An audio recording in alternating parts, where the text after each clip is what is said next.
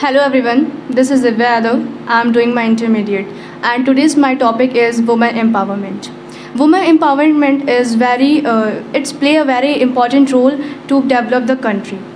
Uh, uh, women empowerment, uh, empowerment is very necessary to in rural areas because in rural areas the girls ha- uh, the people do not educated to girls do not give educations to girls and do not do not give him to good health and do not focus on it. He always he always uh, think that boys uh, are dominant and uh, there are lots of uh, people who think that uh, male uh, the male was domin- uh, dominant and female was do not female was only for the work of household chores and there are lots of illegal words like uh, fetus, uh, feticides and uh, and also the yeah discrimination are here. Women are faced lots of discrimination in lots of places. If women will be educated the whole family will be educated.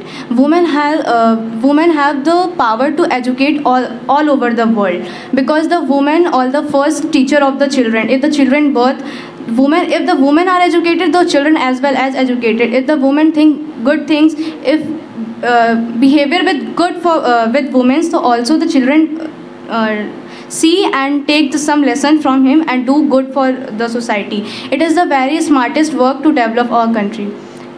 Thank you. Yes. Only women develop the country. i don't say the only women. I say if the women are educated the whole world are also get educated education. So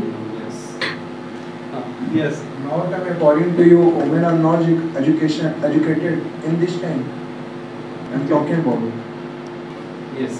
yes according to me in this era also there are lots uh, lots of things we can uh, lots of problem we can see like feticides are all also here there and lots of discrimination in uh, workplaces the all the society was think the woman was not do any work late night okay the woman has gone go, go and then work. But not like a man. The like uh, man was come on 10 o'clock at night. The society have no problem. But if the woman come the society incorrupt so i think